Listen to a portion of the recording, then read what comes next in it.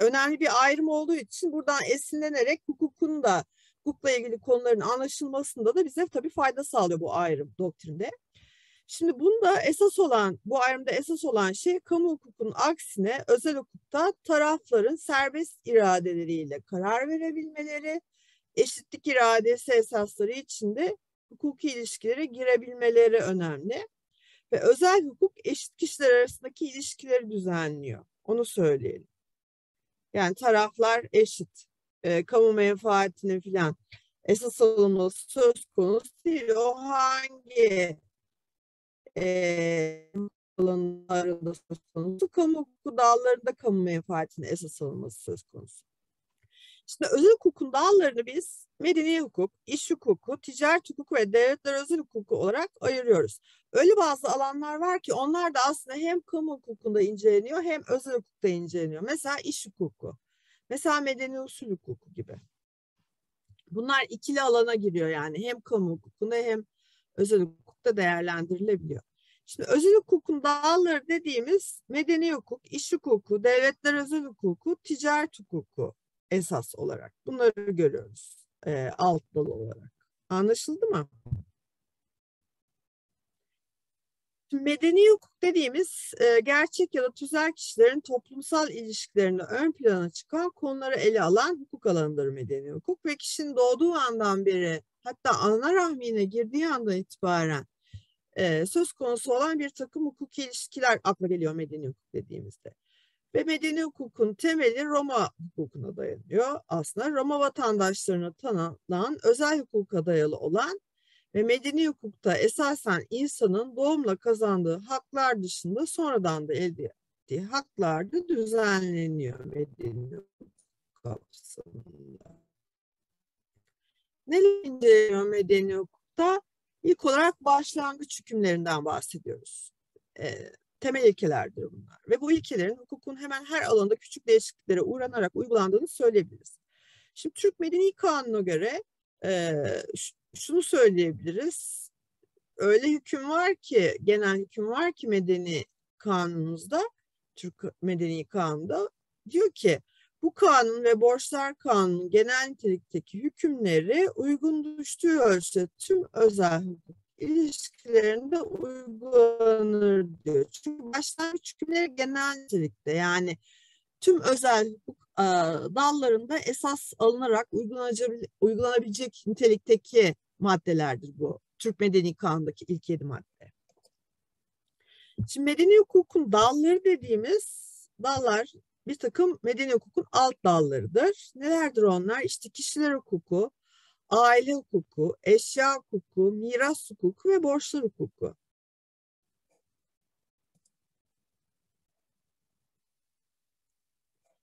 Sayfa kaç diye soran bir arkadaşımız var. Yedinci üniteyi açacaksınız arkadaşlar. Şimdi kişiler hukuku dediğimiz alan adı da üstünde zaten. Medeni kanunun kişileri gerçek ve tüzel kişiler olarak ikiye ayırdığını söyleyebiliriz kişiler hukuku alanında. Ve e, gerçek kişiler hukukunda önce her insanın hak ehliyeti olduğu belirtiliyor. Fiil ehliyeti ise ayrıca ele alınarak inceleniyor. Yani hukuki işlemlere girişebilme ehliyeti kişinin. Bunlardır e, hani hukuki işlem ehliyeti. Yine fiil ehliyeti kapsamında e, ele alınan bir takım başka ehliyetler de vardır. Ve e, tabii bir de hak ehliyeti var. Yani kişinin e, sahip olduğu çok önemli bir e, hakları kullanabilmesiyle ilgili ehliyetidir hak ehliyeti.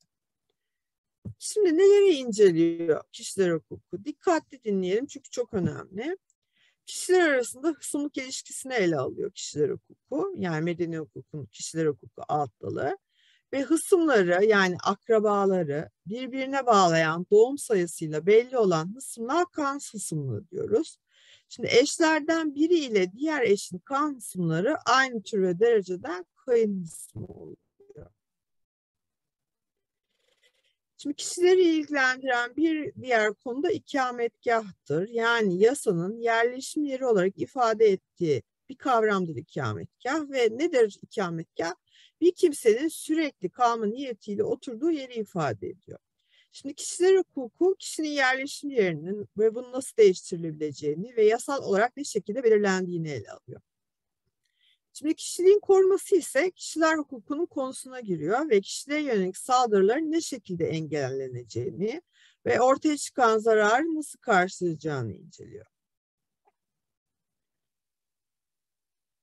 Yine doğum olayı, ölüm olayı ve gayiplik olayı yani kişinin ölüm tehlikesi içinde kaybolmasına diyoruz gayiplik. Ee, işte bununla ilgili siciller inceleniyor kişiler hukukunda. Tüzel kişiler neyi, de ne inceleniyor, ele alınıyor, hangi konu? Adı da üstüne zaten. Nedir tüzel kişi? Başlı başına bir varlığı olmak üzere örgütlenmiş kişi toplulukları ve belli bir amaca özgülenmiş olan bağımsız mal topluluklarını ifade ediyor tüzel kişiler. Ve e, kişiler hukuku tüzel kişilerin hak ve fiil ehliyetlerini inceliyor. Şimdi aile hukuku dediğimiz yine medeni hukukun önemli bir alt dalı var. Adı da üstüne aileyi inceliyor. Bu alan öncelikle evlenme ve nişanlanma kavramlarını ele alıyor. Yani bunun oluşumu evlenme ve yine batıl yani geçersiz olan evlilikler. Nişanlanmanın sonucunda ne olur? Örneğin birbirine hediye verilen mallar geri verilir nişanlanmada. Boşanma da yine aile hukukuna dahildir. Yine boşanma sebepleri, ayrı yaşama, nafaka aile hukuk kapsamında ele alıyor. Yine mal rejimleri konusunu ele alıyor. Yani evlenmekle e, kabul edilen bir takım e, aile birliğine dahil olan malların yönetimini e, ve nasıl örneğin paylaşılacağına iki eş arasında buna ilişkin e, hukuktur. Mal or, mal rejimleri. Nedir daha doğrusu hani mal rejimleri? Eşlerin birbirlerinin malları üzerindeki haklarıdır ve ortak edinen edinilen hani evlilik birliği süresinde edinilen malların e, hukuki gidişatı e, bunlar ele alınıyor. Şimdi aile hukukunda eline alınan bir diğer konu da hısımlıktır. Yani soy işte kurulması, tanıma ve babalık kararı, hani evlilik dışında doğan çocuğun tanıma ve e, babalık davasıyla işte e, aileye dahil olması, babanın tanıması daha doğrusu. Yine e, evlat edinme, velayet, bunlar hep aile hukukunun konusudur. Aile vakfı ve e, ev yönetimi de ve vesayet organları da yine aile hukukunun diğer önemli bir konusudur arkadaşlar. Anlaşılıyor mu dediklerim? Bir cevap yazabilirsiniz bana ya da söyleyebilirsiniz. Anlaşılıyor hocam, problem yok. Tamam.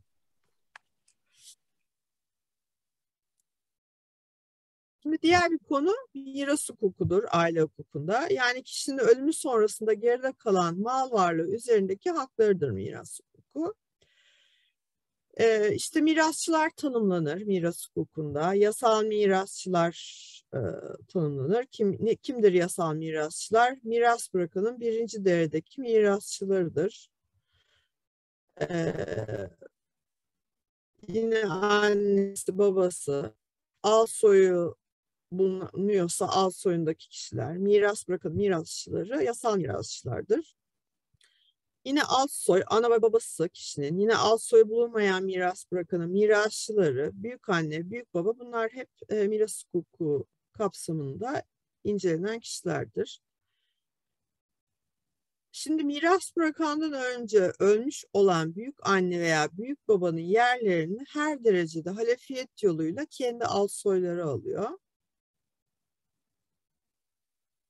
Anne veya baba tarafından olan büyük anne veya büyük babalardan biri az soy bulunmaksızın miras bırakandan önce ölmüşse ona düşen pay aynı taraftaki mirasçılara kalıyor.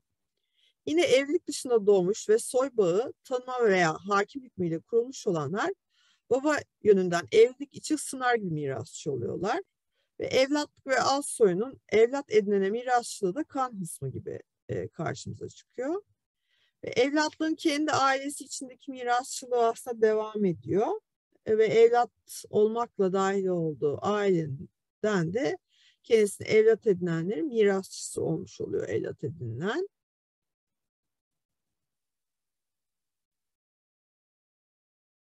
Miras bırakmaksızın ölen kimsenin e, mirası devlete geçiyor. Onu da söylemiş olalım. Çünkü merak edebilirsiniz.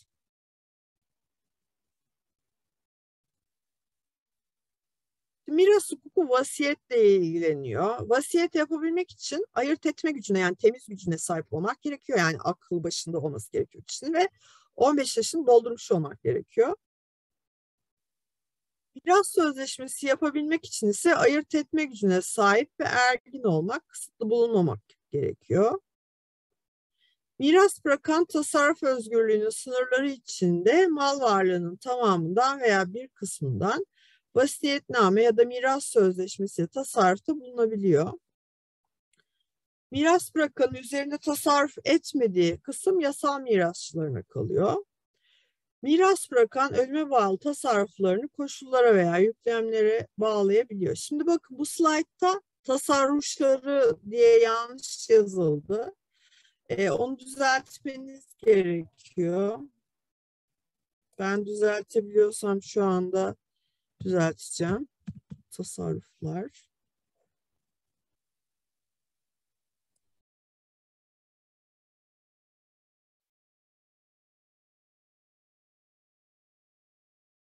typing hatası yapmışız. Ee, şimdi bunu düzeltme. Yani miras bırakan ölüme bağlı tasarruflarını koşullara ve yüklemlere bağlayabiliyor. Miras sözleşmesi de yine e, önemli bir konu miras hukukunda incelenen. Eğer bir miras e, olayında yani bir vasiyetname yapılırken hukuka ve ahlaka aykırı koşullar bulunursa tabii ki hukuka ve ahlaka aykırı koşullar direkt geçersiz oluyor. Yani bu e, sözleşme geçersizlik e, ifade ediyor. Eğer hukuka ve ahlaka aykırı e, şartlar içeriyorsa. Yine mirasın açılması, paylaşılması, mirasın e, haklar kısmının borçlarından az olması yani bir miras bir vasıta borçlar fazla ise mirasçılar bu borçları ödemek normal olarak istemeyecekleri için eğer güçleri yetmezse e, ödemek istemeyecekleri için ki çoğu insan böyle yapar o zaman mirası reddediyorlar. E, bunlar da önemli konular miras hukukunda incelenen. Şimdi mirasçılar bir mirasta yani terekede bulunan borçlardan müteselsilen sorumludurlar. Ve mirasçılardan her biri sözleşme veya kanun gereğince ortaklığı sürdürmekte yükümlü olmadıkça her zaman mirasın paylaşılmasını isteyebiliyorlar. Her mirasçı terekedeki belli malları aynen ve olanak yoksa da satış yoluyla paylaştırılmasına karar verilmesini sulh mahkemesinden isteyebiliyor. Medeni hukukun diğer bir konusu eşya hukuku arkadaşlar. Ee, eşya hukuku temelde taşınır yani menkul mallar ve taşınmaz mallar yani gayrimenkul mallarla ilgili hakları ele alınıyor ve bu alanın temel kavramı mülkiyettir. Diğer bir alanda zilyetliktir. Yani malı fiilen hakimiyeti altında bulundurmaya biz zilyet diyoruz sahibi olmak değil de sırf elinde bulundurmak. Bu anlamda hırsız bile zilyettir yani malı e, elinde bulunduruyordur. Tamam başkasının olduğunu biliyordur ama bir zilyetlikin e, hani arz ettiği e, anlam şuydu. Fiili hakimiyet yani o an o malı elinde bulundurmak.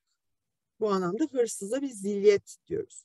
Şimdi ne dedik? Eşya hukukunun temel konusu, en temel konusu mülkiyettir ve e, mülkiyet hakkına göre bir şeye malik olan yani sahip olan kimse düzenin sınırları içinde o şey üzerinde dilediği gibi o malı kullanma, yararlanma ve her tür tasarrufta bulunma yetkisine sahiptir. Hatta o malı yok etme yetkisine bile sahiptir. Şimdi malik yani bir malın sahibi kendi malını haksız olarak elinde bulundurana istihkak davası açabiliyor ve her türlü haksız o malı elinde bulundurmanın önlenmesini dava edebiliyor. Çünkü en geniş kapsamlı haktır. Şimdi taşınır mülkiyeti nedir onu söyleyelim. Bir eşya hukukunda taşınır mülkiyetinin konusu nitelikleri itibariyle taşınabilen maddi şeylerle ilgilidir. E, taşınır mülkiyetinin nakli için zilyetliğin devri gerekir. Bir taşınırın zilyetliğini iyi niyetle ve malik olmak üzere devralan kimse devredenin mülkiyetin devir yetkisi olmasa bile zilyetlik hükümlerine göre kazanmanın korunduğu hallerde o şeyin maliki oluyor. Neydi zilyetlik? Malı fiilen elinde bulundurmaydı. E, taşınır mülkiyeti zilyetliğin devriyle nakledilir. Ne demek bu? E, taşınır bir mal yani menkul bir mal. E, o malın fiilen elinde bulundurulması hakkının devredilmesiyle başkasına naklediliyor. Yani başkasına oluyor artık taşınır mülkiyet. Yani taşınırlar devir işlemiyle başkasına geçebiliyor özet olarak. Taşınmaz mülkiyeti nedir? Tapu kütüğünün ayrı sayfaya kaydedilen bağımsız ve sürekli haklar ve yine kat mülkiyeti kütüğündeki kayıtlı bağımsız bölümler e, taşımaz mülkiyetin konusunu oluşturuyor. Taşımaz mülkiyetinin kazanılması tescilli oluyor. Tapu siciline tescilli.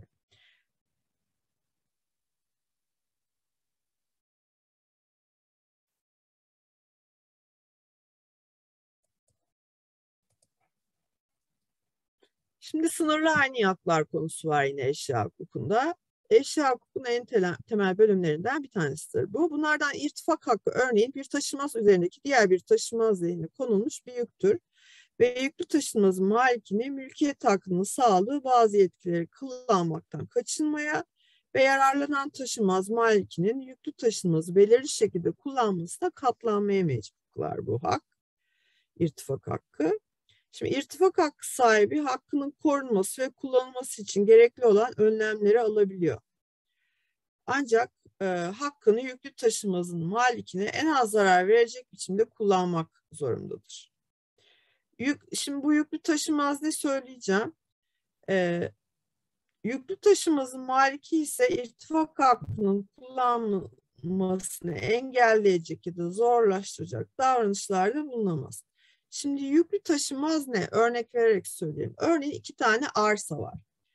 E, bu iki tane arazi var ya da bu arazilerden birinin hemen yanında diyelim ki e, bir yol geçiyor, ana yol geçiyor.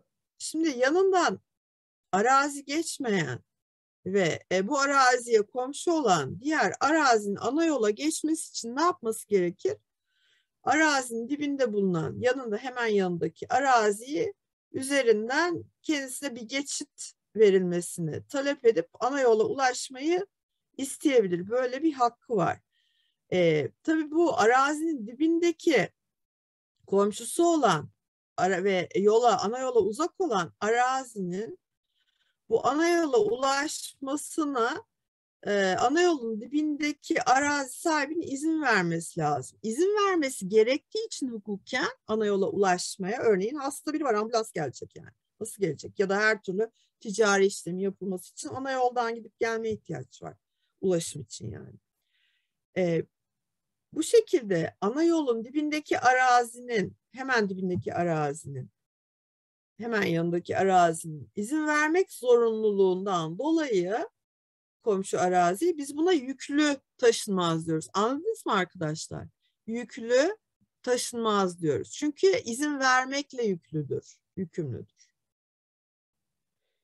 Halde ne, ne diyoruz burada? Ee, kendisine ana yola geçmesi için hak tanınan kişi ise irtifak hakkı sahibi diyoruz.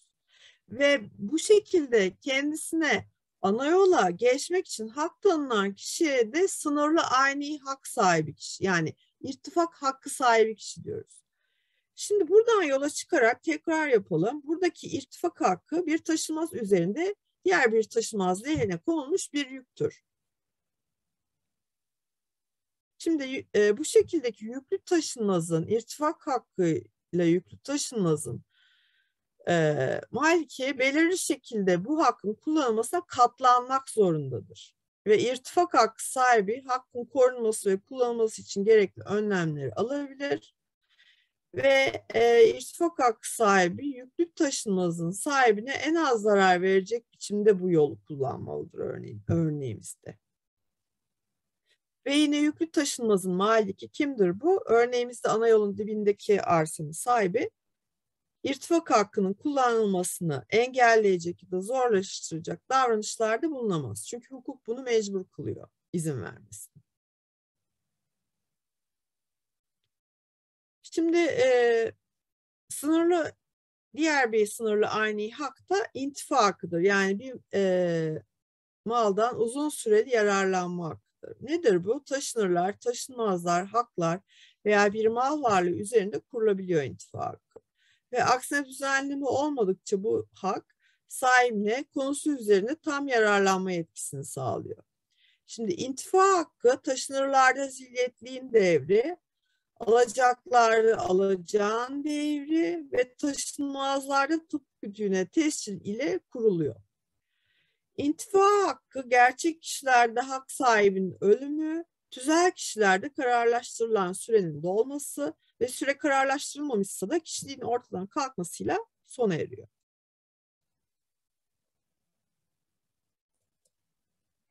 Şimdi geldik borçlar hukukuna arkadaşlar. Buraya kadar sormak istediğiniz bir şey var mı? Yok hocam.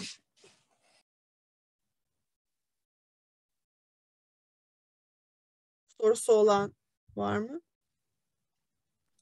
Hocam yok. Tamam, teşekkürler. Şimdi borçlar hukuku da diğer bir çok çok önemli alan. Ee, hani özel hukukun bir dalı. Şimdi borçlar hukuku kişiler arasındaki borç ilişkilerini konu alıyor ve hukuk sistemimiz içinde borcun kaynağı kural olarak kanun, sözleşme ya da hukuka aykırı fiil olabiliyor. Borçlar hukuku bu borç kaynaklarını yarattıkları sorumluluk türüne ve sonuçlarını düzenliyor. Borçlar hukukunun temel kaynağı durumundaki Türk Borçlar Kanunu iki temel bölümden oluşuyor. İlk bölüm genel hükümler olarak adlandırılmıştır ve hemen her borç ilişkisine uygulanabilen hükümlerden oluşur. Bunlara borçlar hukukunun genel ilkeleri denir. Ve bu ilkeler bünyesi uygun olduğu sürece e, bütün borç ilişkilerini düzenleyen kuralları içeriyor Türk Borçlar Kanunu.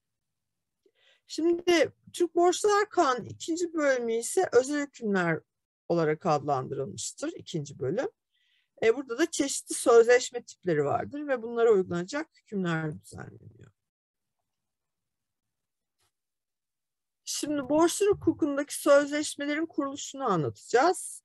Şimdi borçlar hukukunun genel ilkeleri denildiğinde bazı temel yapılar akla geliyor. Bunlardan ilki sözleşmelerin kuruluşudur. Şimdi sözleşme nedir? Tarafların iradelerini karşılıklı ve birbirine uygun olarak açıklamalarıyla kurulur sözleşmeler. Ve irade açıklaması açık veya örtülü olabiliyor. Sözleşmelerin geçerliliği kanunda aksi öngörülmedikçe hiçbir şekilde bağlı değildir. Kanunda sözleşme öngörülen şekil kural olarak geçerlilik şeklidir. Ve öngörülen şekle uyulmaksızın kurulan sözleşmeler hüküm doğurmaz. Örneğin kefalet sözleşmesi mutlaka yazılı olarak yapılması lazım. Yapılmazsa yazılı olarak geçerli olmaz. Evlilik sözleşmesinin ise mutlaka sözlü olarak yapılması lazım. Sözlü olarak tarafların evet e, demeleri, beyanda bulunması gerekiyor. Sadece tabii sözleşmenin kuruluşuyla değil, sözleşmelerin işlemesi ve sona ermesiyle de ilgileniyor borçlar hukuku. Ve yine sözleşmelerin yapılması aşamasındaki iradeyi sakatlayan yanılma, aldatma ve korku da inceleniyor sözleşmelerin kuruluşuyla ilgili olarak. Şimdi iş hukuku dediğimiz alan ise çalışma yaşamına ilişkin kuralları ele alıp inceliyor. Diğer bir alandır iş hukuku. Özel hukuktaki diğer bir incelenen önemli alan iş hukukudur. Ve aslında iş hukuku bazen de kamu hukukunu da ilgilendirebiliyor bazı düzenlemeleri. Şimdi iş hukuku kendi içinde bir takım bölümlere ayrılıyor. Bunlardan bir tanesi bireysel iş hukukudur. Ee, nedir bireysel iş hukuku? Hizmet sözleşmesini e, ele alır ve taraflardan biri olan işçiyi koruyan Çünkü işçi ve işveren arasındaki ilişkiler düzenleniyor ya iş hukukunda. İşçiyi koruyor tabii bireysel iş hukuku. Şimdi serbest koşullarda yapıldığında pazarlık şansı olmayan işçinin aleyhine hükümler e, içermesi olasılığı olan bir hizmet sözleşmesine müdahale ediyor bireysel iş hukuku ve burada işçiyi koruyor diyebiliriz. İç kanunu içeriğinde iş sözleşmesi var. İşçi işveren alt ilişkileri var. Şimdi bir iş sözleşmesine dayanarak çalışan gerçek kişiye işçi diyoruz ve işçi çalıştıran gerçek bir tüzel kişiye de e, işveren diyoruz. İşçi ile işveren arasında kurulan ilişki ise iş ilişkisidir. İşveren tarafından mal veya hizmet üretmek amacıyla maddi olan veya olmayan unsurlar içeren işçinin birlikte örgütlendiği birim ise iş yeridir. Şimdi işverenin adına hareket eden ve işin, iş ve işletmenin yönetiminde görev alan kimselere işveren vekili deniyor. Ve işveren vekilliği sıfatı işçilere tanınan hak ve yükümlülükleri ortadan kaldırmıyor.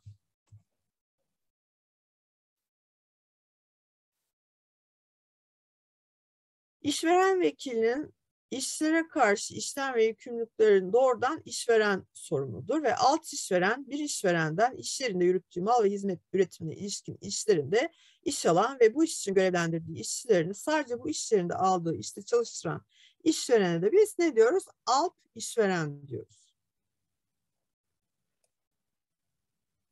Şimdi toplu iş hukuku konusu var yine iş hukukunun bir alanıdır. Bunda da Sendikalar Kanunu, Toplu İş Sözleşmesi, grev ve lockout düzenleniyor. İşte işçilerin ve memurların sendikal hakları ele alınıyor toplu iş hukukunda. Örneğin. Bir de sosyal güvenlik hukuku var. Ee, bu da Türkiye'nin kapsamı en, en geniş olan hukuk dalı olma özelliğini arz ediyor diyebiliriz mesela. Çünkü e, sosyal güvenlik hukuku çok yaygın olarak uygulanıyor ve genel sağlık sigortasının uygulanmaya başlamasıyla Türkiye'de sosyal güvenlik kurumu ile bağlantısı olması neredeyse e, hiç kimse kalmamıştır. Şimdi burada e, sosyal güvenlikle ilgili kanun sosyal sigortalar ile genel sağlık sigortasından yararlanacak kişileri, işverenleri, sağlık hizmeti sunucularını Yine gerçek kişileri bu kanundan yararlanan ve her türlü kamu ve özel hukuk tüzel kişilerini ve tüzel kişiliği olmayan diğer kurum ve kuruluşları kapsıyor ve onların hak ve yükümlülüklerini düzenliyor. Şimdi diğer bir alan özel hukukta ticaret hukukudur. Ticaret hukuku bir ticari işletmeyi ilgilendiren işlem ve fiilleri konu alıyor. Ve bu yapısıyla ticari işletme, şirketler hukuku, deniz ticareti, kıymetli evrak, taşıma işleri ve sigorta olmak üzere altı bölümden oluşuyor diyebiliriz ticaret hukuku. Şimdi ticari işletme, esnaf işletmesi için öngörülen sınırı aşan düzeyde gelir sağlamayı hedef tutan faaliyetlerin devamlı bağımsız şekilde yürütüldüğü bir işletmedir. Ve tacir bir ticari işletmeyi kısmen de olsa kendi adına işleten kişiye denir. Ticaret kanunu düzenlenen konularda bir ticari işletmeyi ilgilendiren bütün işlem ve fiiller e, ticari iş olarak adlandırılıyor. Ve ticari davaların görüleceği mahkemeler e, özel olarak yapılandırılmıştır. Yani bu konudaki zaman aşımı, ticari faiz konuları e, buna göre ayrı bir e, hukuk alanı olan ticaret hukukuna düzenlenmiştir. Ticari işlerde faiz oranı serbestçe belirleniyor ve aksine sözleşme yoksa ticari bir borcun faizi vadenin bitiminden ve belli bir vade yoksa ihtar gününden itibaren işlemeye başlıyor. Ticari işletme, esnaf işletmesi için öngörülen sınırı aşan düzeyde gelir sağlamayı hedef tutan faaliyetlerin devamlı ve bağımsız şekilde yürütüldüğü işletmedir. Ticari işletme ile esnaf işletmesi arasındaki sınır Bakanlar Kurulu'nda çıkarılacak kararnamede e, gösterilebiliyor.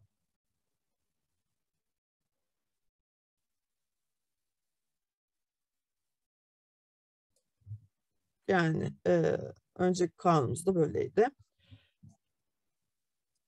Şimdi devletler özel hukuku da diğer bir alan. Devletler özel hukuku yabancılık unsuru taşıyan özel hukuka ilişkin işlem ve ilişkilerde uygulanacak hukuktur.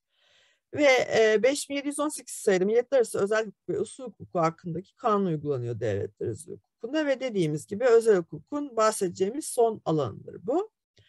Şimdi yabancılık unsuru taşıyan özel hukuka ilişkin işlem ve ilişkilerde uygulanacak hukuk Türk mahkemelerinin e, bu alanda taşıdığı milletler arası yetki ve yabancı kararların tanınması ve bu kararların tenfizi bu kanunla düzenlenmiştir. Ve hakim Türk Kanunları İhtilafı kurallarını ve bu kurallara göre yetkili olan yabancı hukuku rezen uygular. Yani kendiliğinden uygular. Kimse e, talep etmesi bile. Hakim yetkili yabancı hukuku muhtevasının tespitinde tarafların yardımını da isteyebilir. Yabancı hukukun olaya ilişkin hükümlerinin tüm araştırmalara rağmen tespit edilememesi halinde ise Türk hukuku uygulanıyor. Devletler özel hukukun alanı vatandaşlık hukuku, yabancılar hukuku ve kanunlar itilafı hukuku olarak karşımıza çıkıyor. Şimdi birinci sorumuz. Soru cevap aşamasına geçtik. Konularımızı bitirdik arkadaşlar. Lütfen sorularımıza birlikte cevap verelim. Birinci sorumuz şu. Borçlar hukukunda sorumluluğun kaynağı genel kural olarak kusurlu eylemlerdir. Ancak borçlar hukukunda istisna nitelik taşıyan kusursuz sorumluluk halleri de yer alır. Aşağıdakilerin hangisi yukarıdaki ifade edilen kusurlu eylemlerden doğan sorumluluktur? A. Hakkaniyet sorumluluğu. B. Haksız fiil işlenmesi halindeki sorumluluk. C. Adam çalıştıranın sorumluluğu. D. Hayvan bulunduranın sorumluluğu. E. Yapı malikinin sorumluluğu. Şimdi arkadaşlar aslında bu sorumuz e, konu işleme mahiyetinde bir soruydu. Yani hem de konu işlemeyi temel aldım bunu sormakla. Şöyle siz kitaptan çalışırken lütfen kusurlu sorumluluk ve kusursuz sorumluluk konularını dikkatli çalışın. O zaman zaten soruya kendinizden cevap verebileceksiniz. Çok önemli bir alan borçlar hukukunda. Kusurlu sorumluluk ve kusursuz sorumluluk çok sık soru sorulan bir alan bir de. Şimdi bunun cevabı arkadaşlar B yani haksız fiil işlenmesi halindeki sorumluluktur. Bu e, cevaplar içinde sadece 5 şıkkı kusur sorumluluğuna e, ilişkindir. Diğer bütün şıklar A şıkkı, C, D ve E kusursuz sorumluluğa ilişkindir. Şimdi kusursuz sorumluluk nedir? Hukuk sistemi, borçlar hukuk sistemi tarafından bir kimsenin kusursuz bile olsa mutlak surette sorumlu tutulmasıdır. Çünkü bu hakkaniyet bunu gerektirir. Eşitlik, adalet duygusu da bunu gerektirir. Dolayısıyla kusursuz sorumluluk işte adam çalıştırının sorumlu, hayvan bulunduranın sorumlu, binasal sorumlu, yine e, yani yapı malikinin sorumlu diyoruz buna. Yine e, motor taşıt e, işletenlerin sorumlu ve yine tehlikeli faaliyet gösteren örneğin bir doğal gaz üreten bir e, hani kuruluşun taşıdığı sorumluluk gibi. Bunlar e, kusursuz sorumludur. Yani kusuru olmasa bile yaptıkları faaliyetten sorumludurlar. Çünkü ancak e, ortaya çıkan sonuçların giderilmesi hakkaniyet, adalet, eşitlik duygularına göre bu şekilde karşılanabilir. Haksız fiil işlenmesi halindeki sorumlulukta ise kişi kusuru ölçüsünde sorumludur. Yani Kastı varsa en ağır sorumluluğa sahiptir. Kusur üçe ayrılıyor. Kasıt, ağır ihmal ve hafif ihmal şeklinde değerlendiriyor. Ağır ihmal varsa kasta göre daha az sorumludur. Hafif ihmal varsa kişinin ağır ihmali ve kasta göre daha az sorumludur. Bunun gibi. Çalışınca göreceksiniz kitaptan zaten. Nitekim bizim hani derste burada sunuş yaptığımız alanlar kısıtlı yani sadece bir saatte yayılıyor konunun e, bütün olarak anlaşılması için kitaptan çalışmanız gerekiyorsunuz. İkinci sorumuz aşağıdakilerin hangisi iş kanunu uyuyorunca işveren adına hareket eden ve işin iş yerinde ve işletmenin yönetiminde görev alan kimselere denir. A. Alt işveren B. Müfettiş C. işveren vekili D. Müdür E. İş yeri temsilcisi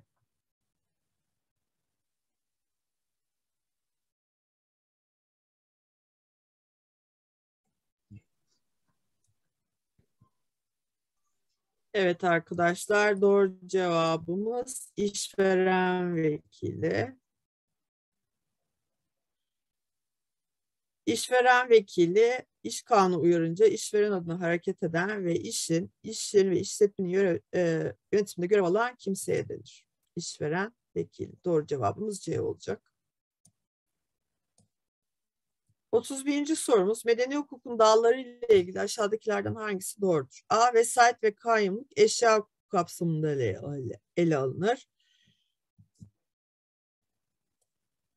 B. Boşanma kişiler hukuku kapsamında ele alınır. C. Nafaka miras hukuku kapsamında ele alınır. D. Rehin ve ipotek eşya hukuku kapsamında ele alınır. E. Kişiliğin korunması miras hukuku kapsamında ele alınır. Evet, cevapları alalım. Zaten vermişsiniz.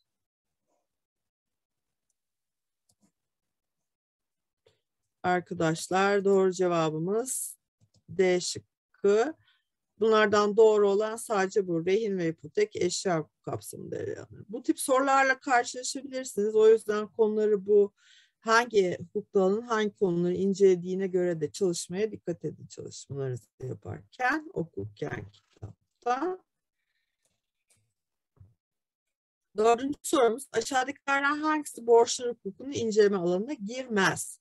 A. Sözleşmelerin kuruluşu B. Zilyetlik C. Genel işlem koşulları D. Yetkisiz temsil E. Hukuka aykırı fiillerin sonucunda oluşan maddi zararın giderimi. Tazmin.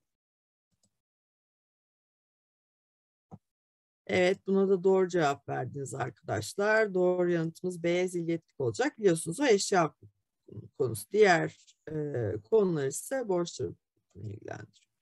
Beşinci sorumuz tacir ile ilgili aşağıdaki ifadelerden hangisi yanlıştır? A. Bir tacirin borçlarının ticari olması asıldır. B. Tacir kendisi gibi tacir olan veya olmayan bir kişiye ticari işletmesiyle ilgili bir iş veya hizmet görmüş olması halinde uygun bir ücret isteyebilir. D. Tacirlerden yalnız biri için ticari iş niteliğinde olan sözleşmeler kanunda aksine hüküm bulunmadıkça diğeri için de ticari sayılır. D. Gerçek kişi olan tacir işlemi yaptığı anda bunun ticari işletmesiyle ilgili olduğunu diğer tarafa açıkça bildirmesi veya işin ticari sayılmasına durum elverişli olması halinde borç adi sayılır. E. Tacir verdiği avanslar ve yaptığı giderler için ödeme tarihinden itibaren faize hak kazanır. Hangisi yanlış arkadaşlar? Cevap vermeye çalışırsınız.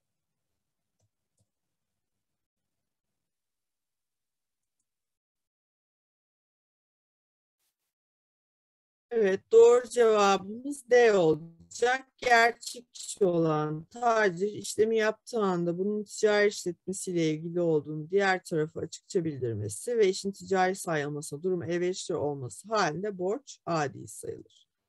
Bu yanlıştır çünkü böyle bir şey olması halinde borç ticari sayılır. Yani D şıkkında tarif edilen e, borç ticari borçtur. Adi borç değildir. Adi borç ne demek? Ticari olmayan borçları biz adi borçlar diyoruz.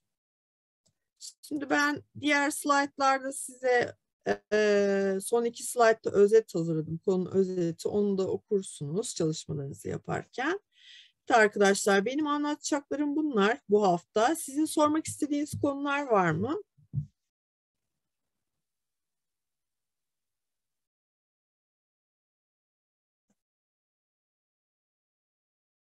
Sesinizi alamıyorum ama arkadaşlar. Sormak istediğiniz Yok konu var galiba. mı? Yok hocam yok.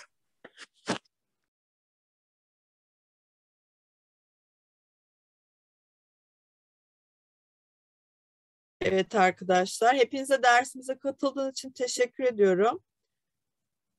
Şimdi haftaya da e, yani az gecikme de olsa mutlaka dersimizi yapacağız. O yüzden ekrandan ayrılmayıp beklersiniz. Hani internet bağlantısında sorun oluyor bazen çünkü. E, hepimiz dersi bekliyoruz. Haftaya da 8. ünitemizi yapacağız. Hepinize iyi çalışmalar, sağlıklı günler, iyi bir hafta diliyorum arkadaşlar. Derse katıldığınız için teşekkür Teşekkür ederiz hocam. Şimdi günümüzde bu daha çok eğitim amaçlı kullanılıyor ama e, tabii bir önemli bir ayrım olduğu için buradan esinlenerek hukukun da hukukla ilgili konuların anlaşılmasında da bize tabii fayda sağlıyor bu ayrım doktrinde. Şimdi bunda esas olan, bu ayrımda esas olan şey kamu hukukunun aksine özel hukukta tarafların serbest iradeleriyle karar verebilmeleri, eşitlik iradesi esasları içinde hukuki ilişkilere girebilmeleri önemli. Ve özel hukuk eşit kişiler arasındaki ilişkileri düzenliyor. Onu söyleyelim. Yani taraflar eşit. e, kamu menfaatinin filan esas alınması söz konusu değil. O hangi e, alanlarında söz konusu, kamu hukuku dallarında kamu menfaatinin esas alınması söz konusu. Şimdi özel hukukun dallarını biz medeni hukuk, iş hukuku, ticaret hukuku ve devletler özel hukuku olarak ayırıyoruz. Öyle bazı alanlar var ki onlar da aslında hem kamu hukukunda inceleniyor hem özel hukukta inceleniyor. Mesela iş hukuku, mesela medeni usul hukuku gibi. Bunlar ikili alana giriyor yani hem kamu hukukunda hem özel hukukta değerlendirilebiliyor. Şimdi özel hukukun dalları dediğimiz medeni hukuk, iş hukuku, devletler özel hukuku, ticaret hukuku esas olarak. Bunları görüyoruz e, alt dal olarak. Anlaşıldı mı? Medeni hukuk dediğimiz e, gerçek ya da tüzel kişilerin toplumsal ilişkilerini ön plana çıkan konuları ele alan hukuk alanıdır medeni hukuk ve kişinin doğduğu andan beri hatta ana rahmine girdiği andan itibaren e, söz konusu olan bir takım hukuki ilişkiler akla geliyor medeni hukuk dediğimizde. Ve medeni hukukun temeli Roma hukukuna dayanıyor. Aslında Roma vatandaşlarına tanınan özel hukuka dayalı olan ve medeni hukukta esasen insanın doğumla kazandığı haklar dışında sonradan da elde ettiği haklar da düzenleniyor medeni hukuk kapsamında. Neler inceliyor medeni hukukta? İlk olarak başlangıç hükümlerinden bahsediyoruz. E, temel ilkelerdir bunlar. Ve bu ilkelerin hukukun hemen her alanda küçük değişikliklere uğranarak uygulandığını söyleyebiliriz. Şimdi Türk Medeni Kanunu'na göre e, şunu söyleyebiliriz. Öyle hüküm var ki, genel hüküm var ki medeni kanunumuzda, Türk Medeni Kanunu'da diyor ki bu kanun ve borçlar kanunun genel nitelikteki hükümleri uygun düştüğü ölçüde tüm özel hukuk ilişkilerinde uygulanır diyor. Çünkü başlangıç hükümleri genel nitelikte yani tüm özel hukuk dallarında esas alınarak uygulanabilecek nitelikteki maddelerdir bu. Türk Medeni Kanunu'ndaki ilk yedi madde.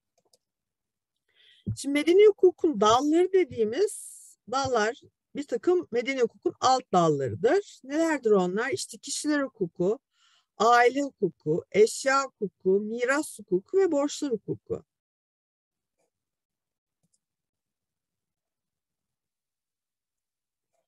Sayfa kaç diye soran bir arkadaşımız var. Yedinci üniteyi açacaksınız arkadaşlar. Şimdi kişiler hukuku dediğimiz alan adı üstünde zaten. Medeni kanunun kişileri gerçek ve tüzel kişiler olarak ikiye ayırdığını söyleyebiliriz kişiler hukuku alanında. Ve e, gerçek kişiler hukukunda önce her insanın hak ehliyeti olduğu belirtiliyor. Fiil ehliyeti ise ayrıca ele alınarak inceleniyor. Yani hukuki işlemlere girişebilme ehliyeti kişinin. Bunlardır e, hani hukuki işlem ehliyeti. Yine fiil ehliyeti kapsamında e, ele alınan bir takım başka ehliyetler de vardır. Ve e, tabii bir de hak ehliyeti var. Yani kişinin e, sahip olduğu çok önemli bir e, hakları kullanabilmesiyle ilgili ehliyetidir hak ehliyeti. Şimdi neleri inceliyor kişiler hukuku? Dikkatli dinleyelim çünkü çok önemli. Kişiler arasında hısımlık ilişkisini ele alıyor kişiler hukuku. Yani medeni hukukun kişiler hukuku alt dalı. Ve hısımları yani akrabaları birbirine bağlayan doğum sayısıyla belli olan hısımlığa kan hısımlığı diyoruz. Şimdi eşlerden biri ile diğer eşin kan hısımları aynı tür ve dereceden kayın hısmı oluyor. Şimdi kişileri ilgilendiren bir diğer konu da ikametgahtır. Yani yasanın yerleşim yeri olarak ifade ettiği bir kavramdır ikametgah ve nedir ikametgah? Bir kimsenin sürekli kalma niyetiyle oturduğu yeri ifade ediyor. Şimdi kişiler hukuku kişinin yerleşim yerinin ve bunu nasıl değiştirilebileceğini ve yasal olarak ne şekilde belirlendiğini ele alıyor. Şimdi kişiliğin koruması ise kişiler hukukunun konusuna giriyor ve kişilere yönelik saldırıların ne şekilde engelleneceğini ve ortaya çıkan zararı nasıl karşılayacağını inceliyor. Yine doğum olayı, ölüm olayı ve gayetlik olayı yani kişinin ölüm tehlikesi içinde kaybolmasına diyoruz gayetlik. Ee, işte bununla ilgili siciller inceleniyor kişiler hukukunda. Tüzel kişiler neyi, de ne inceleniyor, ele alınıyor, hangi konu? Adı da üstüne zaten. Nedir tüzel kişi? Başlı başına bir varlığı olmak üzere örgütlenmiş kişi toplulukları ve belli bir amaca özgülenmiş olan bağımsız mal topluluklarını ifade ediyor tüzel kişiler. Ve e, kişiler hukuku tüzel kişilerin hak ve fiil ehliyetlerini inceliyor. Şimdi aile hukuku dediğimiz yine medeni hukukun önemli bir alt dalı var. Adı da üstüne aileyi inceliyor. Bu alan öncelikle evlenme ve nişanlanma kavramlarını ele alıyor. Yani bunun oluşumu evlenme ve nişanlının yine batıl yani geçersiz olan evlilikler. Nişanlanmanın sonucunda ne olur? Örneğin birbirine hediye verilen mallar geri verilir nişanlanmada. Boşanma da yine aile hukukuna dahildir. Yine boşanma sebepleri, ayrı yaşama, nafaka aile hukuk kapsamında ele alıyor. Yine mal rejimleri konusunu ele alıyor. Yani evlenmekle e, kabul edilen bir takım e, aile birliğine dahil olan malların yönetimini e, ve nasıl örneğin paylaşılacağına iki eş arasında buna ilişkin e, hukuktur. Mal or, mal rejimleri. Nedir daha doğrusu hani mal rejimleri? Eşlerin birbirlerinin malları üzerindeki haklarıdır ve ortak edinen edinilen hani evlilik birliği süresinde edinilen malların e, hukuki gidişatı e, bunlar ele alınıyor. Şimdi aile hukukunda eline alınan bir diğer konu da hısımlıktır. Yani soy bağının işte kurulması, tanıma ve babalık kararı, hani evlilik dışında doğan çocuğun tanıma ve e, babalık davasıyla işte e, aileye dahil olması, babanın tanıması daha doğrusu. Yine e, evlat edinme, velayet, bunlar hep aile hukukunun konusudur. Aile vakfı ve e, ev yönetimi de ve vesayet organları da yine aile hukukunun diğer önemli bir konusudur arkadaşlar. Anlaşılıyor mu dediklerim? Bir cevap yazabilirsiniz bana ya da söyleyebilirseniz. Anlaşılıyor hocam. Problem yok. Tamam.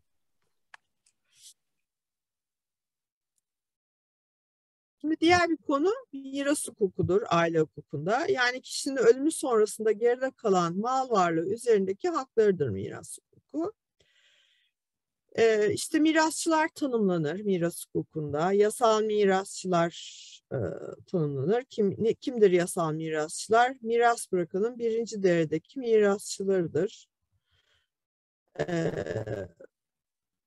yine annesi, babası, al soyu bulunuyorsa alt soyundaki kişiler, miras bırakan mirasçıları yasal mirasçılardır. Yine alt soy, ana ve babası kişinin, yine alt soy bulunmayan miras bırakanın mirasçıları, büyük anne, büyük baba bunlar hep e, miras hukuku kapsamında incelenen kişilerdir.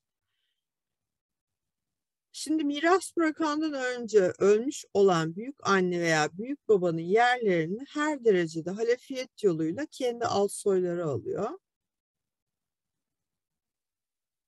Anne veya baba tarafından olan büyük anne veya büyük babalardan biri soy bulunmaksızın miras bırakandan önce ölmüşse ona düşen pay aynı taraftaki mirasçılara kalıyor. Yine evlilik dışında doğmuş ve soy bağı tanıma veya hakim hükmüyle kurulmuş olanlar baba yönünden evlilik için sınar gibi mirasçı oluyorlar. Ve evlatlık ve az soyunun evlat edinene mirasçılığı da kan hısmı gibi e, karşımıza çıkıyor. Ve evlatlığın kendi ailesi içindeki mirasçılığı aslında devam ediyor. E, ve evlat olmakla dahil olduğu aileden de kendisini evlat edinenlerin mirasçısı olmuş oluyor evlat edinilen.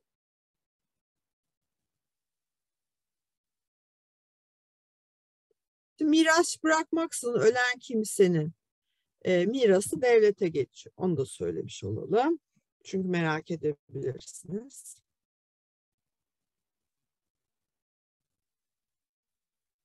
Miras hukuku vasiyetle ilgileniyor. Vasiyet yapabilmek için ayırt etme gücüne yani temiz gücüne sahip olmak gerekiyor. Yani akıl başında olması gerekiyor kişinin ve 15 yaşını doldurmuş olmak gerekiyor.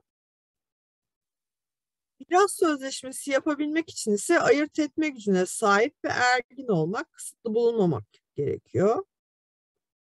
Miras bırakan tasarruf özgürlüğünün sınırları içinde mal varlığının tamamından veya bir kısmından vasiyetname ya da miras sözleşmesi tasarrufta bulunabiliyor. Miras bırakanın üzerinde tasarruf etmediği kısım yasal mirasçılarına kalıyor. Miras bırakan ölüme bağlı tasarruflarını koşullara veya yüklemlere bağlayabiliyor. Şimdi bakın bu slaytta tasarrufları diye yanlış yazıldı. Ee, onu düzeltmeniz gerekiyor. Ben düzeltebiliyorsam şu anda düzelteceğim. Tasarruflar.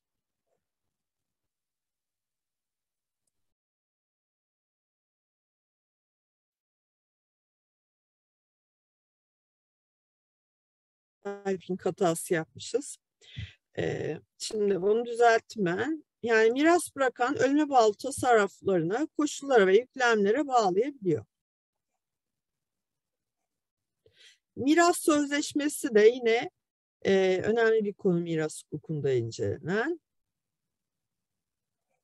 Eğer bir miras e, olayında yani bir vasiyetname yapılırken hukuka ve ahlaka aykırı koşullar bulunursa tabii ki hukuka ve ahlaka aykırı koşullar direkt geçersiz oluyor. Yani bu e, sözleşme geçersizlik e, ifade ediyor. Eğer hukuka ve ahlaka aykırı e, şartlar içeriyorsa.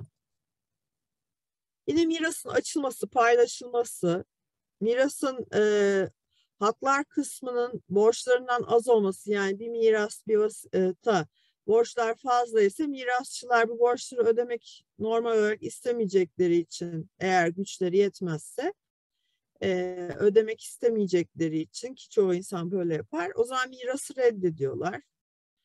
E, bunlar da önemli konular miras hukukunda incelenen. Şimdi mirasçılar bir mirasta yani terekede bulunan borçlardan müteselsilen sorumludurlar. Ve mirasçılardan her biri sözleşme veya kanun gereğince ortaklığı sürdürmekte yükümlü olmadıkça her zaman mirasın paylaşılmasını isteyebiliyorlar.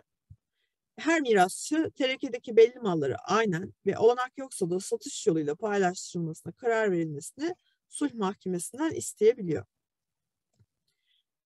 Medeni hukukun diğer bir konusu eşya hukuku arkadaşlar. Ee, eşya hukuku temelde taşınır yani menkul mallar ve taşınmaz mallar yani gayrimenkul mallarla ilgili hakları ele alınıyor ve bu alanın temel kavramı mülkiyettir. Diğer bir alanda zilyetliktir. Yani malı fiilen hakimiyeti altında bulundurmaya biz zilyet diyoruz sahibi olmak değil de sırf elinde bulundurmak. Bu anlamda hırsız bile zilyettir yani malı e, elinde bulunduruyordur. Tamam başkasının olduğunu biliyordur ama bir zilyetlikin e, hani arz ettiği e, anlam şuydu. Fiili hakimiyet yani o an o malı elinde bulundurmak. Bu anlamda hırsıza bir zilyet diyoruz. Şimdi ne dedik? Eşya hukukun temel konusu, en temel konusu mülkiyettir ve e, mülkiyet hakkına göre bir şeye malik olan yani sahip olan kimse düzenin sınırları içinde o şey üzerinde dilediği gibi o malı kullanma, yararlanma ve her tür tasarrufta bulunma yetkisine sahiptir. Hatta o malı yok etme yetkisine bile sahiptir. Şimdi malik yani bir malın sahibi kendi malını haksız olarak elinde bulundurana istihkak davası açabiliyor ve her türlü haksız o malı elinde bulundurmanın önlenmesini dava edebiliyor. Çünkü en geniş kapsamlı haktır. Şimdi taşınır mülkiyeti nedir onu söyleyelim. Bir eşya hukukunda taşınır mülkiyetinin konusu nitelikleri itibariyle taşınabilen maddi şeylerle ilgilidir. E, taşınır mülkiyetinin nakli için zilyetliğin devri gerekir. Bir taşınırın zilyetliğini iyi niyetle ve malik olmak üzere devralan kimse devredenin mülkiyetinin devir yetkisi olmasa bile zilyetlik hükümlerine göre kazanmanın korunduğu hallerde o şeyin maliki oluyor. Neydi zilyetlik? Malı fiilen elinde bulundurmaydı. E, taşınır mülkiyeti zilyetliğin değeriyle nakledilir. Ne demek bu? E, taşınır bir mal yani menkul bir mal. E, o malın fiilen elinde bulundurulması hakkının devredilmesiyle başkasına naklediliyor. Yani başkasına oluyor artık taşınır mülkiyet. Yani taşınırlar devir işlemiyle başkasına geçebiliyor özet olarak. Taşımaz mülkiyeti nedir? Tapu kütüğünün ayrı sayfaya kaydedilen bağımsız ve sürekli haklar ve yine kat mülkiyeti kütüğündeki kayıtlı bağımsız bölümler e, taşımaz mülkiyetin konusunu oluşturuyor. Taşımaz mülkiyetinin kazanılması tescilli oluyor. Tapu siciline tescilli.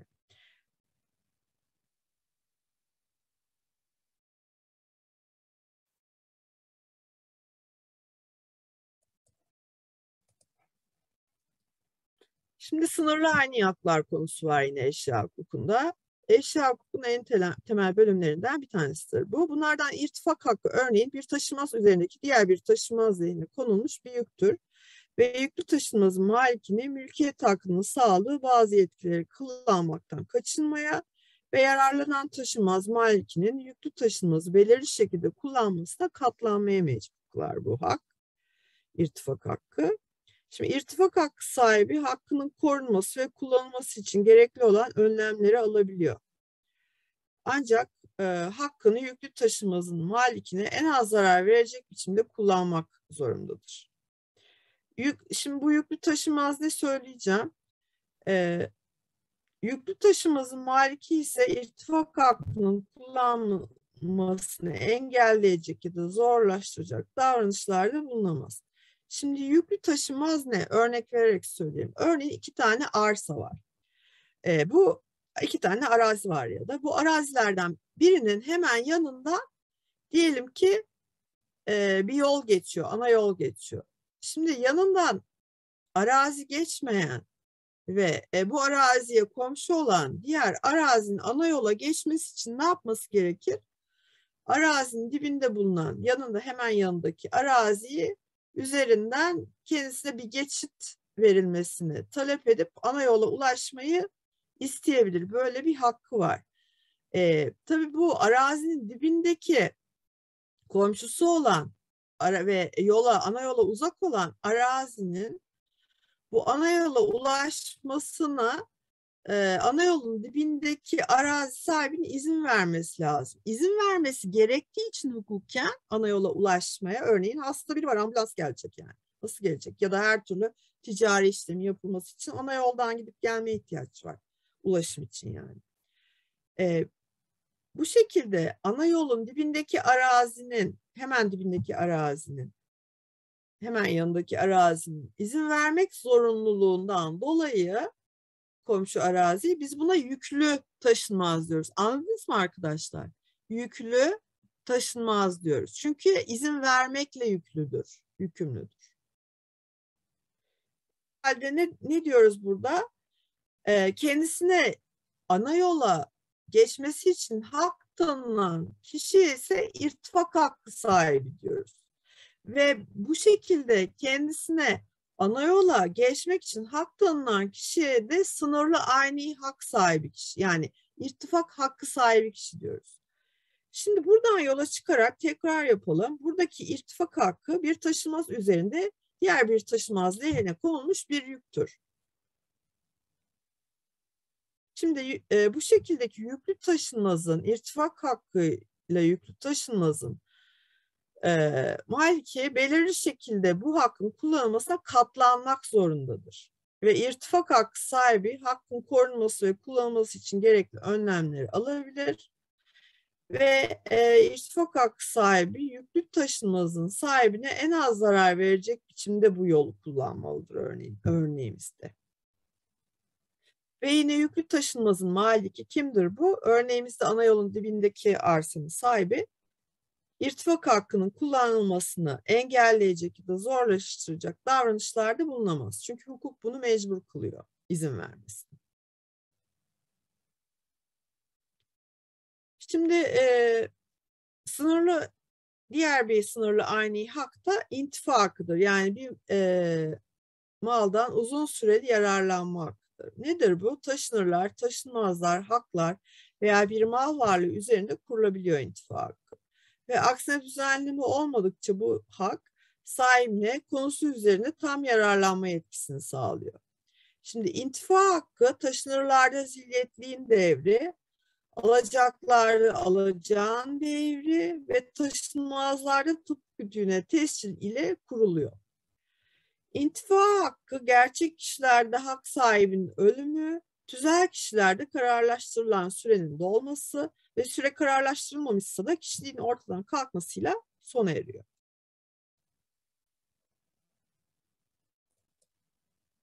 Şimdi geldik borçlar hukukuna arkadaşlar. Buraya kadar sormak istediğiniz bir şey var mı?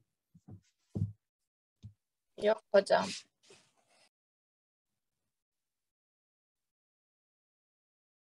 Sorusu olan var mı? Hocam yok. Tamam, teşekkürler.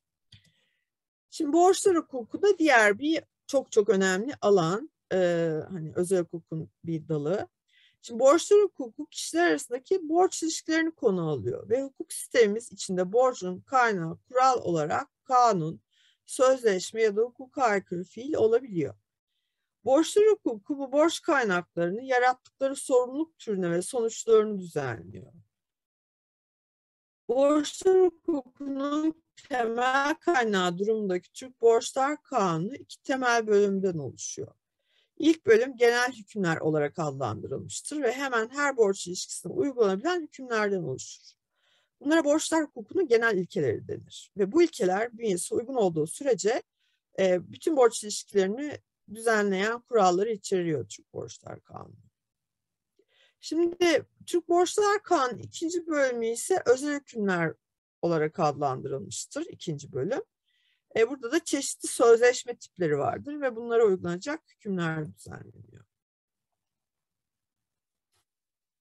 Şimdi borçlar hukukundaki sözleşmelerin kuruluşunu anlatacağız. Şimdi borçlar hukukunun genel ilkeleri denildiğinde bazı temel yapılar akla geliyor. Bunlardan ilki sözleşmelerin kuruluşudur. Şimdi sözleşme nedir? Tarafların iradelerinin karşılıklı ve birbirine uygun olarak açıklamalarıyla kurulur sözleşmeler. Ve irade açıklaması açık veya örtülü olabiliyor. Sözleşmelerin geçerliliği kanunda aksi öngörülmedikçe hiçbir şekilde bağlı değildir. Kanunda sözleşme öngörülen şekil kural olarak geçerlilik şeklidir. Ve öngörülen şekilde uyulmaksızın kurulan sözleşmeler hüküm doğurmaz. Örneğin kefalet sözleşmesi mutlaka yazılı olarak yapılması lazım. Yapılmazsa yazılı olarak geçerli olmaz. Evlilik sözleşmesinin ise mutlaka sözlü olarak yapılması lazım. Sözlü olarak tarafların evet e, demeleri, beyanda bulunması gerekiyor. Sadece tabii sözleşmenin kuruluşuyla değil, sözleşmelerin işlemesi ve sona ermesiyle de ilgileniyor borçlar hukuku. Ve yine sözleşmelerin yapılması aşamasındaki iradeyi sakatlayan yanılma, aldatma ve korku da inceleniyor sözleşmelerin kuruluşuyla ilgili olarak. Şimdi işçi hukuku dediğimiz alan ise çalışma yaşamına ilişkin kuralları ele alıp inceliyor. Diğer bir alandır iş hukuku.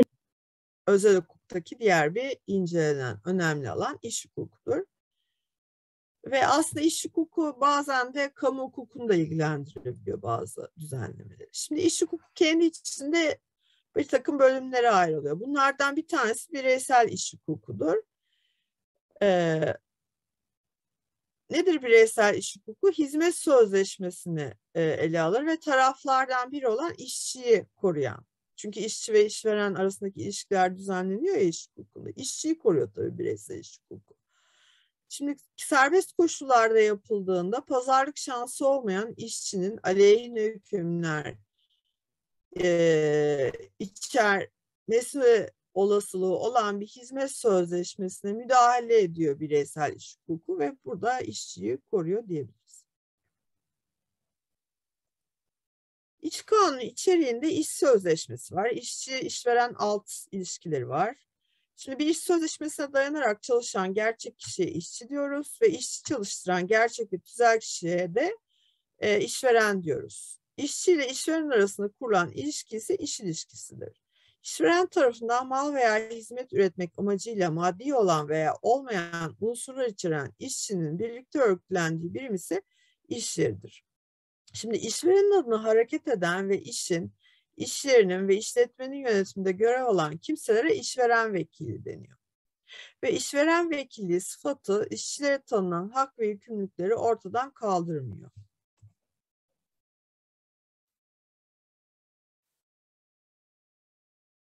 İşveren vekilinin işlere karşı işlem ve yükümlülüklerin doğrudan işveren sorumludur ve alt işveren bir işverenden işlerinde yürüttüğü mal ve hizmet üretimine ilişkin işlerinde iş alan ve bu iş için görevlendirdiği işçilerini sadece bu işlerinde aldığı işte çalıştıran işverene de biz ne diyoruz? Alt işveren diyoruz.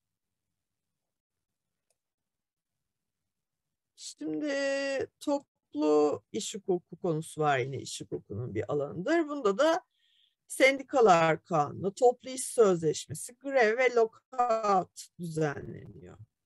İşte işçilerin ve memurların sendikal hakları ele alınıyor toplu iş hukukunda. Örneğin. Bir de sosyal güvenlik hukuku var.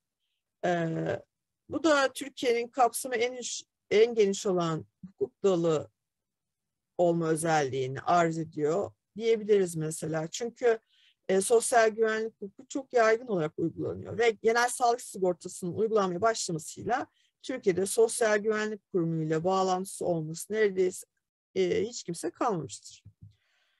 Şimdi burada e, sosyal güvenlikle ilgili kanun sosyal sigortalar ile genel sağlık sigortasından yararlanacak kişileri, işverenleri, sağlık hizmeti sunucularını Yine gerçek kişileri bu kanundan yararlanan ve her türlü kamu ve özel hukuk tüzel kişilerini ve tüzel kişiliği olmayan diğer kurum ve kuruluşları kapsıyor ve onların hak ve yükümlülüklerini düzenliyor. Şimdi diğer bir alan özel hukukta ticaret hukukudur. Ticaret hukuku bir ticari işletmeyi ilgilendiren işlem ve fiilleri konu alıyor.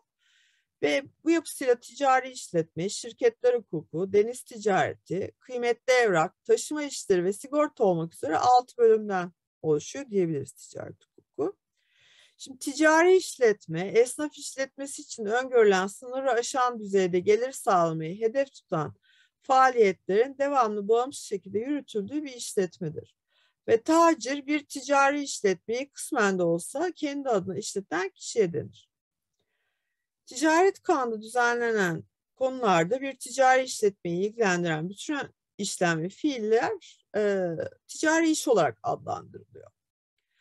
Ve ticari davaların görüleceği mahkemeler e, özel olarak yapılandırılmıştır. Yani bu konudaki zaman aşımı, ticari faiz konuları e, buna göre ayrı bir e, hukuk alanı olan ticaret hukukuna düzenlenmiştir. Ticari işlerde faiz oranı serbestçe belirleniyor ve aksine sözleşme yoksa ticari bir borcun faizi vadenin bitiminden ve belli bir vade yoksa ihtar gününden itibaren işlemeye başlıyor. Ticari işletme, esnaf işletmesi için öngörülen sınırı aşan düzeyde gelir sağlamayı hedef tutan faaliyetlerin devamlı ve bağımsız şekilde yürütüldüğü işletmedir. Ticari işletme ile esnaf işletmesi arasındaki sınır Bakanlar Kurulu'nda çıkarılacak kararnamede e, gösterilebiliyor.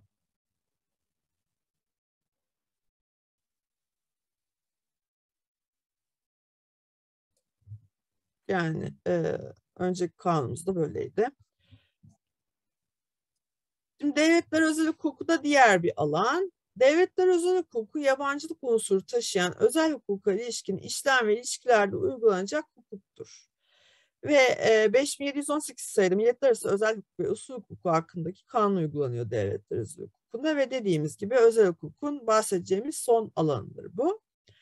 Şimdi yabancılık unsuru taşıyan özel hukuka ilişkin işlem ve ilişkilerde uygulanacak hukuk Türk mahkemelerinin e, bu alanda taşıdığı milletler arası yetki ve yabancı kararların tanınması ve bu kararların tenfizi bu kanunla düzenlenmiştir. Ve hakim Türk Kanunları İhtilafı kurallarını ve bu kurallara göre yetkili olan yabancı hukuku rezen uygular. Yani kendiliğinden uygular. Kimse e, talep etmesi bile. Hakim yetkili yabancı hukuku muhtevasını tespitinde tarafların yardımını da isteyebilir. Yabancı hukukun olaya ilişkin hükümlerinin tüm araştırmalara rağmen tespit edilememesi halinde ise Türk hukuku uygulanıyor. Devletler özel hukukun alanı vatandaşlık hukuku, yabancılar hukuku ve kanunlar itilafı hukuku olarak karşımıza çıkıyor. Şimdi birinci sorumuz. Soru cevap aşamasına geçtik. Konularımızı bitirdik arkadaşlar. Lütfen sorularımıza birlikte cevap verelim. Birinci sorumuz şu. Borçlar hukukunda sorumluluğun kaynağı genel kural olarak kusurlu eylemlerdir. Ancak borçlar hukukunda istisna nitelik taşıyan kusursuz sorumluluk halleri de yer alır. Aşağıdakilerin hangisi yukarıdaki ifade edilen kusurlu eylemlerden doğan sorumluluktur? A. Hakkaniyet sorumluluğu. B. Haksız fiil işlenmesi halindeki sorumluluk. C. Adam çalıştıranın sorumluluğu. D. Hayvan bulunduranın sorumluluğu. E. Yapı malikinin sorumluluğu. Şimdi arkadaşlar aslında bu sorumuz e, konu işleme mahiyetinde bir soruydu. Yani hem de konu işlemeyi temel aldım bunu sormakla. Şöyle siz kitaptan çalışırken lütfen kusurlu sorumluluk ve kusursuz sorumluluk konularını dikkatli çalışın. O zaman zaten soruya kendinizden cevap verebileceksiniz. Çok önemli bir alan borçlar hukukunda. Kusurlu sorumluluk ve kusursuz sorumluluk çok sık soru sorulan bir alan bir de. Şimdi bunun cevabı arkadaşlar B yani haksız fiil işlenmesi halindeki sorumluluktur. Bu e, cevaplar içinde sadece 5 şıkkı kusur sorumluluğuna e, ilişkindir. Diğer bütün şıklar A şıkkı, C, D ve E kusursuz sorumluluğa ilişkindir. Şimdi kusursuz sorumluluk nedir? Hukuk sistemi, borçlar sistemi tarafından bir kimsenin kusursuz bile olsa mutlak surette sorumlu tutulmasıdır. Çünkü bu hakkaniyet bunu gerektirir. Eşitlik, adalet duygusu da bunu gerektirir.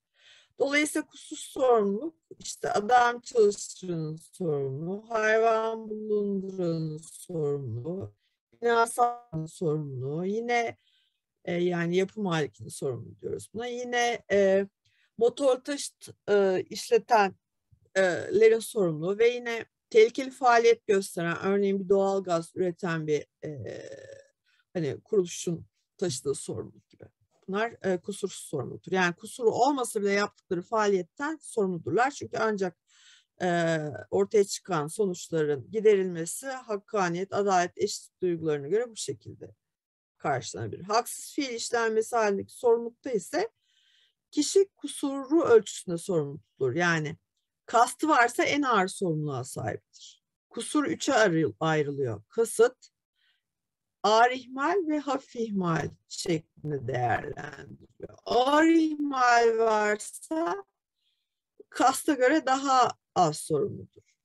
Hafif ihmal varsa kişinin ağır ihmali ve kasta göre daha az sorumludur. Bunun gibi. Çalışınca göreceksiniz kitaptan zaten.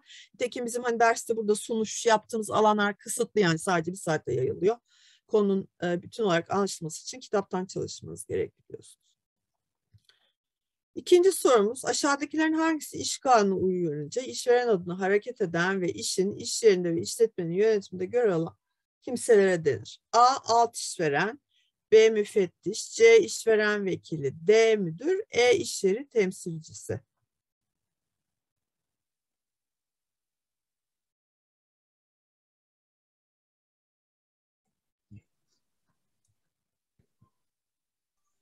Evet arkadaşlar doğru cevabımız işveren vekili. İşveren vekili iş kanunu uyarınca işveren adına hareket eden ve işin, iş yeri ve işletmenin e, yönetiminde görev alan kimseye denir. İşveren vekili. Doğru cevabımız C olacak. 31. sorumuz medeni hukukun dalları ile ilgili aşağıdakilerden hangisi doğrudur? A. Vesayet ve kayyumluk eşya hukuku kapsamında ele, ele alınır. B. Boşanma kişiler hukuku kapsamında ele alınır. C. Nafaka miras hukuku kapsamında ele alınır. D. Rehin ve ipotek eşya hukuku kapsamında ele alınır. E. Kişiliğin korunması miras hukuku kapsamında ele alınır. Evet, cevapları alalım. Zaten vermişsiniz.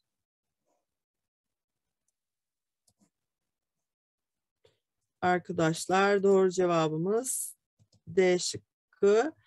Bunlardan doğru olan sadece bu rehin ve ipotek eşya kapsamında ele alınır. Bu tip sorularla karşılaşabilirsiniz. O yüzden konuları bu hangi hukuk dalının hangi konuları incelediğine göre de çalışmaya dikkat edin çalışmalarınızı yaparken, okurken kitapta. Dördüncü sorumuz aşağıdakilerden hangisi borçlar hukukunun inceleme alanına girmez? A. Sözleşmelerin kuruluşu B. Zilyetlik C. Genel işlem koşulları D. Yetkisiz temsil E. Hukuka aykırı fiillerin sonucunda oluşan maddi zararın giderimi. Tazmin. Evet buna da doğru cevap verdiniz arkadaşlar. Doğru yanıtımız B. Zilyetlik olacak. Biliyorsunuz o eşya konusu. Diğer e, konular ise borçlar hukukunu ilgilendiriyor. Beşinci sorumuz tacir ile ilgili aşağıdaki ifadelerden hangisi yanlıştır? A. Bir tacirin borçların ticari olması asıldır. B. Tacir kendisi gibi tacir olan veya olmayan bir kişiye ticari işletmesiyle ilgili bir iş veya hizmet görmüş olması halinde uygun bir ücret isteyebilir. D. Tacirlerden yalnız biri için ticari iş niteliğinde olan sözleşmeler kanunda aksine hüküm bulunmadıkça diğeri için de ticari sayılır. D. Gerçek kişi olan tacir işlemi yaptığı anda bunun ticari işletmesiyle ilgili olduğunu diğer tarafa açıkça bildirmesi veya işin ticari sayılmasına durum elverişli olması halinde borç adi sayılır. E. Tacir verdiği avanslar ve yaptığı giderler için ödeme tarihinden itibaren faize hak kazanır. Hangisi yanlış arkadaşlar? Cevap vermeye çalışırsınız.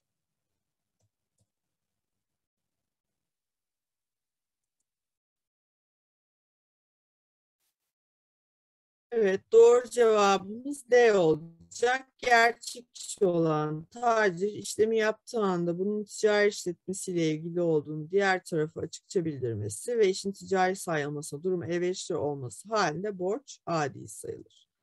Bu yanlıştır çünkü böyle bir şey olması halinde borç ticari sayılır. Yani D şıkkında tarif edilen e, borç ticari borçtur. Adi borç değildir. Adi borç ne demek? Ticari olmayan borçları biz adi borçlar diyoruz. Şimdi ben diğer slaytlarda size e, son iki slaytta özet hazırladım. Konunun özeti onu da okursunuz çalışmalarınızı yaparken. Evet arkadaşlar benim anlatacaklarım bunlar bu hafta. Sizin sormak istediğiniz konular var mı?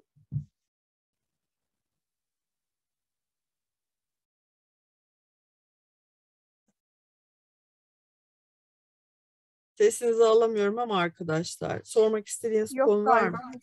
Yok hocam yok.